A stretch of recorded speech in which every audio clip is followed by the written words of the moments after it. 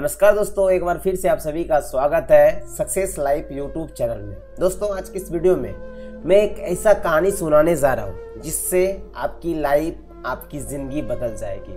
तो ये वीडियो को बहुत ही ध्यानपूर्वक सुनिएगा एंड समझिएगा कि इस कहानी से मैं कहना क्या चाहता हूँ।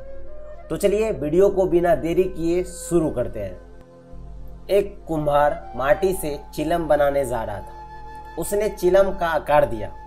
थोड़ी देर में उसने चिलम को बिगाड़ दिया।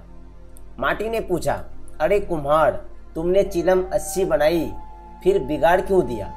कुम्हार ने कहा कि, अरे माटी, पहले मैं चिलम बनाने की सोच रहा था, किंतु मेरी मति बदली और अब मैं सुराही बनाऊँगा। ये सुनकर माटी बोली, रे कुमार मुझे खुशी है, तेरी तो सिर्फ़ मति ही बदली है, मेरी तो ज़िंदगी ही बदल गई। चिलम बनती तो स्वयं भी जलती और दूसरों को भी जलाती। अब सुराही बनूँगी तो स्वयं भी शीतल रहूँगी और दूसरों को भी शीतल रखूँगी।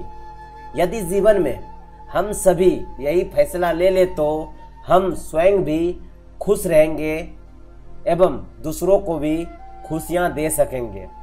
ये शॉर्ट मोटिवेशनल कहानी से आपने क्या सीखे नीचे कमेंट करके ज़रूर बताइएगा।